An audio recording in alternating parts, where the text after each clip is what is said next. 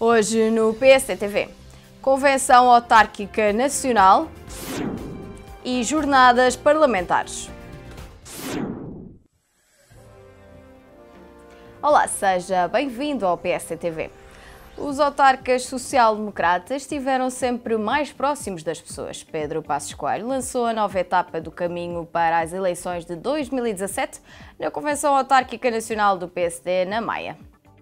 Nós partimos para estas eleições autárquicas confiantes, com humildade, evidentemente, mas confiantes de termos escolhido bons candidatos, uns que têm uma boa história de serviço já à comunidade para mostrar, outros que se apresentam com todas as características que deixam o PSD confiante de que se a confiança dos eleitores chegar também, são os eleitores que ganham, é o país que ganha e nós poderemos futuramente, com muito orgulho, dizer: servimos Portugal e servimos os portugueses.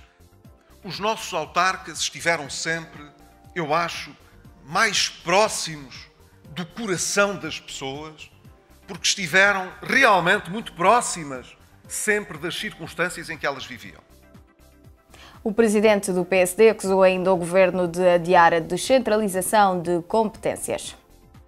Pode-se dizer que estamos um ano e meio depois, na prática, de um novo governo ter iniciado funções, a ver se conseguimos, até ao final desta sessão legislativa, fazer alguma coisa que nos mobiliza, mas que não teve a preparação adequada. Ora bem, nós não fazemos as coisas de qualquer maneira. E não as faremos, seguramente, sem garantias. Portanto, não andamos distraídos e não substituímos o essencial pelo acessório. No encerramento das jornadas parlamentares do PSD em Faro, Pedro Passos Coelho acusou o atual governo de se pautar pelo faz de conta. A faceta do faz de conta, da esperteza com que se colocam os assuntos na discussão pública, independentemente da profundidade, da seriedade ou da consequência que se lhes quer dar, a faceta do imobilismo, do país adiado, da ausência de vontade para fazer qualquer reforma estruturante para futuro. E aqui creio que a alteração eh, ao sistema eleitoral é bem paradigmática disso, na medida em que. Durante os trabalhos das jornadas, o presidente do PSD foi um dos deputados que visitaram unidades de saúde algarvias.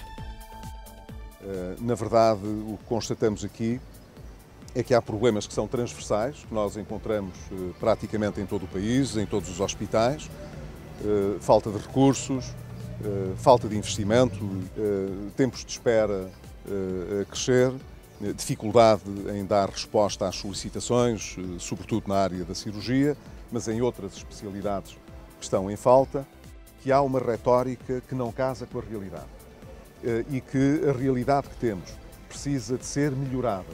Nós sabemos, por exemplo, que o Algarve precisa de um hospital novo. Sabemos isso há muitos anos. Sabemos que não o podemos construir de um ano para o outro.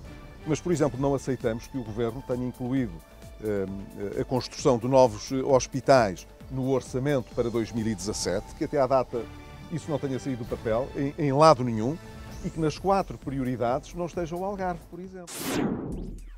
O PSD recoloca na agenda a reforma do sistema político, como explicou o líder parlamentar nas jornadas dos deputados do PSD, deixando um desafio ao Partido Socialista. E, portanto, é mesmo um desafio direto ao Partido Socialista para escolher de que lado é que quer ficar. Se quer ficar do lado daqueles que projetam o futuro, que projetam o aprofundamento da democracia, que projetam o aprofundamento da relação entre o poder político e os destinatários da ação política, as pessoas e as instituições, ou se quer ficar do lado do imobilismo e do taticismo puro e duro, daqueles que não querem fazer nada porque não dá jeito nesta ocasião particular fazer nada. Luís Montenegro acompanhou a apresentação da candidatura de Miguel Bossa à Câmara Municipal de Águeda. Maria Luísa Albuquerque esteve na tomada de posse da JSD de Castelo Branco. Já Teresa Moraes marcou presença no convívio das mulheres social-democratas de Vila Franca de Xira. A Convenção Autárquica Nacional e as jornadas do grupo parlamentar do PSD estão em destaque no Povo Livre da semana. Por hoje é tudo. Acompanhe as nossas redes sociais. Até à próxima semana. Então querem diminuir o fenómeno da precariedade e estão cada vez mais a aumentar os precários que trabalham no Estado? Há aqui qualquer coisa que não bate certo. Nós fazemos bem em denunciar estas matérias. Há aqui uma hipocrisia política. Não se pode a um dia dizer que é muito importante regularizar a situação dos precários e a cada semana que passa contratar mais precários para o Estado. Isto não tem sentido.